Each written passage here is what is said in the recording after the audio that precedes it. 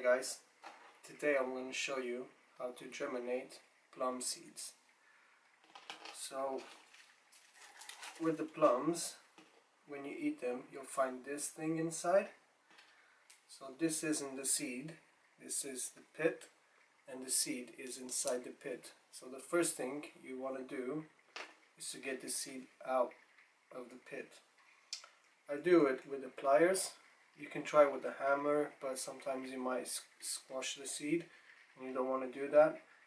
Um, I just go I just take my pliers and I go around where it's more flat just to see if I can get an opening that I can then open the husk with without damaging the seed inside. So you need to be very careful not to squash the whole seed. So just going around the flat edges or flatter edges and then breaking it up with the pliers.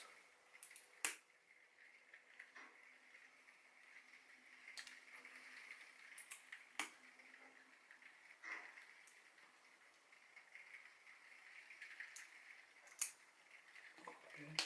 So there's already a small opening here. So all I need to do is work around this opening.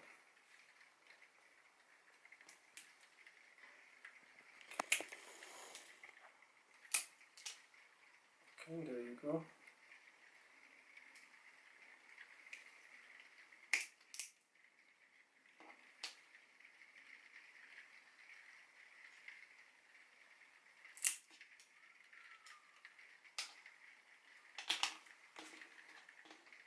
This is your actual plum seed.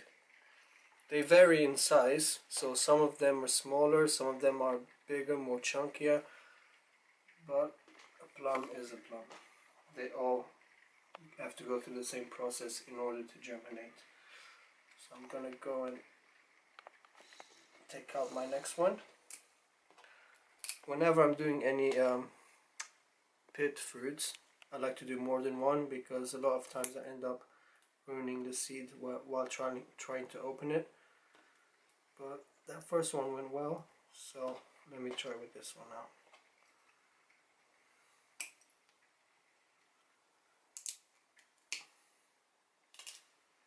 okay so I've got the first opening here. Now I'm just going to work around it try to make it large enough so I can just open the husk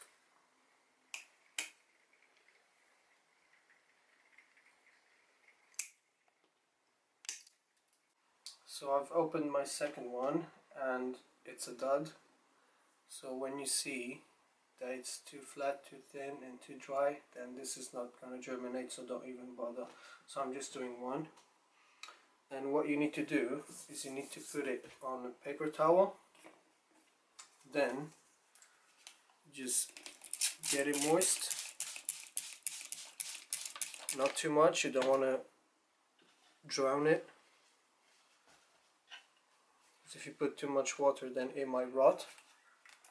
So just enough so the seed is not completely dry. And then once you've got all the paper moist enough all you need to do is put it in a plastic sealable bag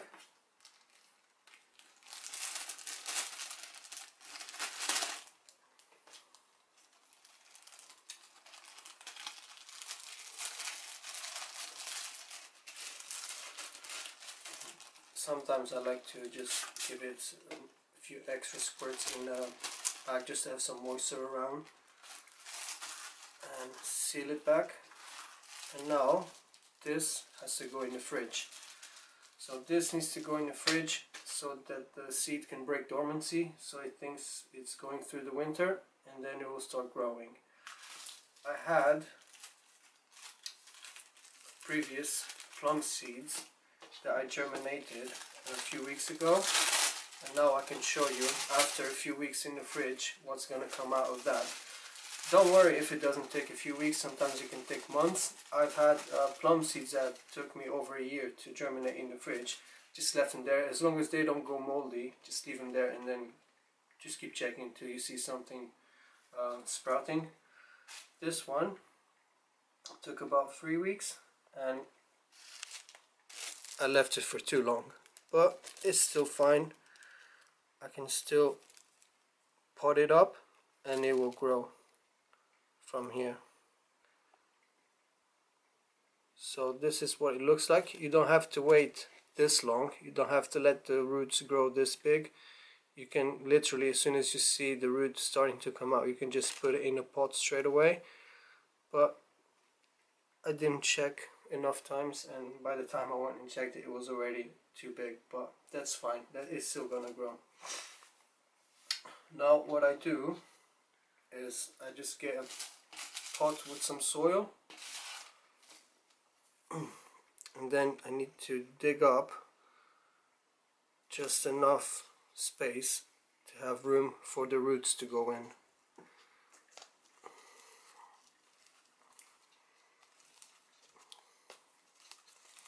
So this soil is pre-moistened so I don't have to water it too much after I've uh, planted the seed. Actually it's not that moist so just so it doesn't fall back in when I'm digging it up I'm just going to give it a few more um, extra water and now once you've got enough room for your roots all you need to do is put them in and then cover them up.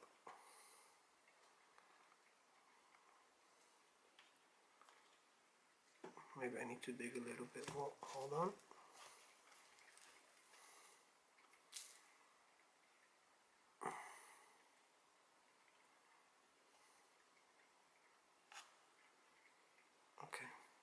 So the roots are in and with plums always leave the top of the seed out of the soil. Because if you bury that most times it doesn't have enough strength to just come out of the soil. So what I do I bury the, the roots and I leave the seed sticking out and then the seed will keep coming up from there and that will form the first leaves of the plant not the true leaves just the first ones. And now just getting it a bit more water.